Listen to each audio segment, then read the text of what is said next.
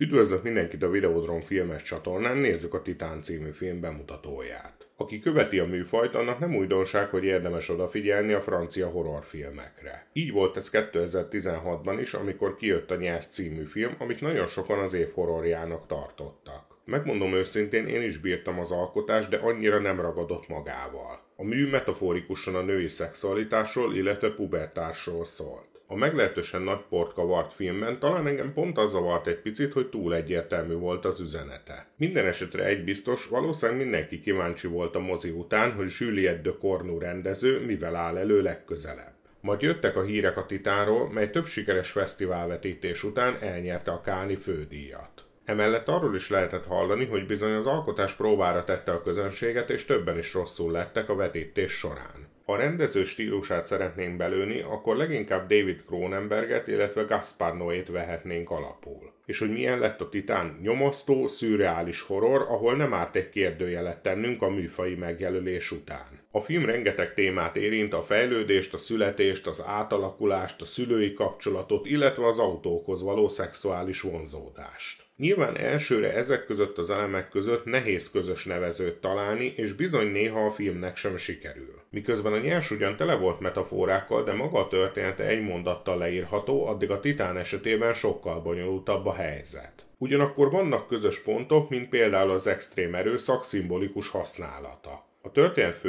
egy gyerekként ismerhetjük meg, aki egy autóbaleset következtében fémlapot kap a koponyájába. A baleset után trauma helyett elkezd vonzódni az autókhoz, felnőttként pedig autókiállításokon dolgozik, mint táncosnő. Hamarosan menekülnie kell, majd egy teljes testi átalakulás után menedékre lel egy idősödő tűzoltó parancsnoknál. A Titán egyértelműen egy feminista film, de teljesen máshogy, mint ahogy erre számítanánk. A témák, melyek a nőiséggel kapcsolatosak, a szeretetvágy, az apalánya viszony, az anyaság kérdése, illetve az öncsonkítás. Emellett a film látványvilága, illetve stílusa egyáltalán nem nevezhető finomnak, sőt nagyon is durva. A nyershez hasonlóan a Titán is gyomorforgató élmény. A mű szürrealitása nem csak a történetre, illetve a főszereplőre igaz, hanem magára a mű hangulatára is. Folyamatosan változik a műfaj, és néha olyan érzésünk van, mintha a Titán három különböző filmből vágták volna össze. Az alapfelütés egy fekete humorú slasher, majd átmegyünk drámába, végül testhorrorban teljesedik ki. Ezeket a szürreális elemeket a karakterek is követik, ráadásul a filmben viszonylag kevés a dialógus, így a legtöbb metaforát a képek adják át. Azonban a hasonlatok nincsenek egy szára felfűzve, így néző legyen a talpán, aki mindegyiket megtalálja.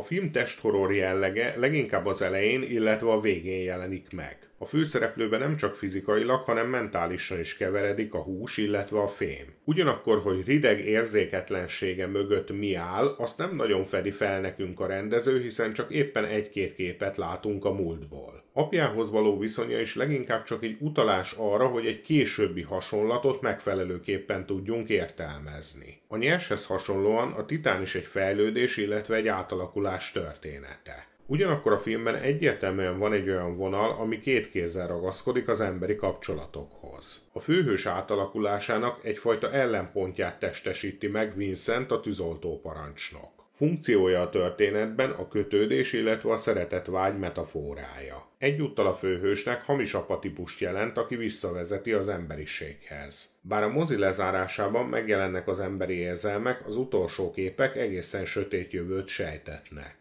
Ha valamihez hasonlítani szeretném a Titánt, akkor Cronenberg karambolja ugrana be, de úgy, mintha David Lynch lett volna a társrendező. És ezt azért mondom, mert néhány Lynch mozihoz hasonlóan itt is nagyon elengedi a direktor a néző kezét. Konkrétan a Titán esetében felmerül az a kérdés, hogy ez a koncepció valamikor a rendezőnő fejében összeállt-e teljesen. Meggyőződésem, hogy igen, de közben ezt nem tudta úgy átadni, hogy a közönség számára is minden pont egyértelmű legyen. Közben kétségtelen, hogy a Titán zeneileg, vizuálisan egy rendkívül lenyűgöző alkotás. Azonban az ilyesfajta rendezői megközelítés esetében mindig felmerül az elkerülhetetlen kérdés, hogy vajon nem egy óriási blöffről van szó. Véleményem szerint nem kell túlmagyarázni a dolgokat, de azért bizonyos kapaszkodókat kell hagyni a nézőnek. Ráadásul a Titán érdekesen viszonyul ehhez, hiszen néhány jelenetet bőven lenne idő magyarázni, mégsem teszi meg. Kétségtelen, hogy ehhez hasonló mozit ritkán látni. Erre a mozira rengeteg jelzőt lehetne használni, többek között vicces, vad, megrendítő, sokkoló, illetve felháborító. Végső soron valahol a gépezetben azért érződik a tudatosság, inkább ott van gond, hogy ezt megfelelőképpen átadja a direktor.